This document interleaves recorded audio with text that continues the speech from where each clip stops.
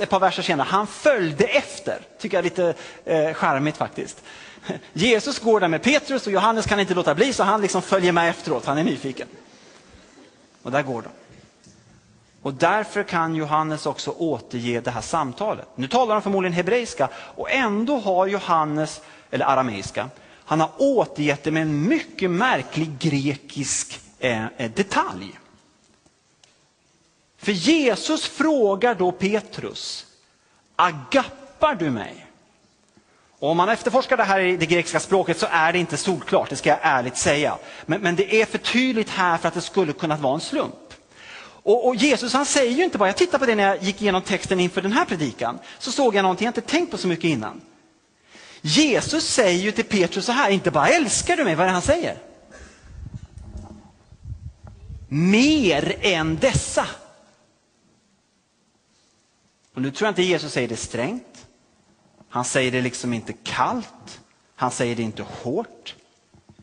Men han, han ställer ändå frågan, han säger agape, det var ordet för Guds kärlek, det högsta ordet för kärlek i det grekiska språket. Och nu säger Jesus då, agappar du mig?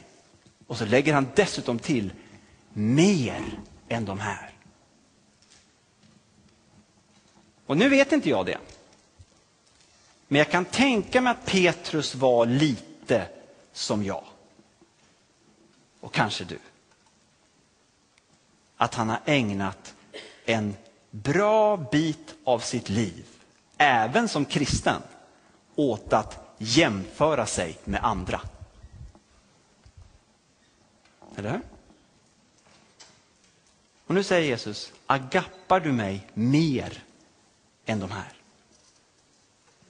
Och ni vet, innan, åtminstone innan han hade hört det här, gå bort ifrån mig Satan och han hade fått reda på att han var klippan och allt det här och kanske även innan förnekelsen. Om Jesus då hade ställt frågan, agappar du mig mer än dessa? Då kan jag tänka mig att Petrus hade svarat, jajamensan!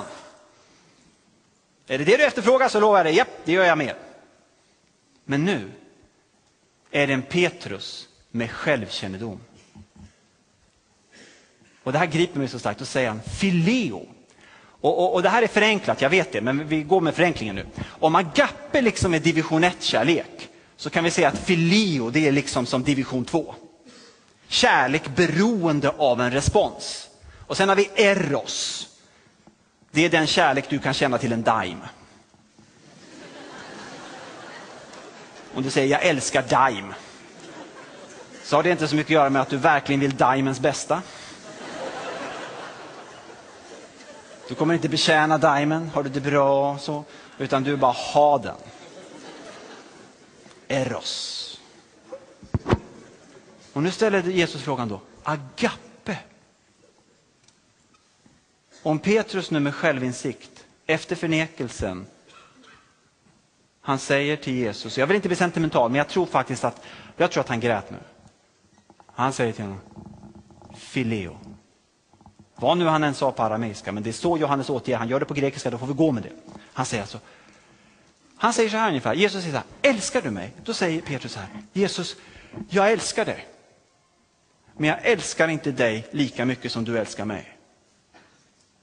Jag älskar dig, men min kärlek är helt beroende av din förlåtelse, av din nåd, av din kärlek varje dag. Din kärlek är som berget. Din kärlek kommer aldrig vika. Din kärlek går aldrig upp och ner. Din kärlek är som ett evigt flöde, en evig eld. Den går emot allt, den krossar allt.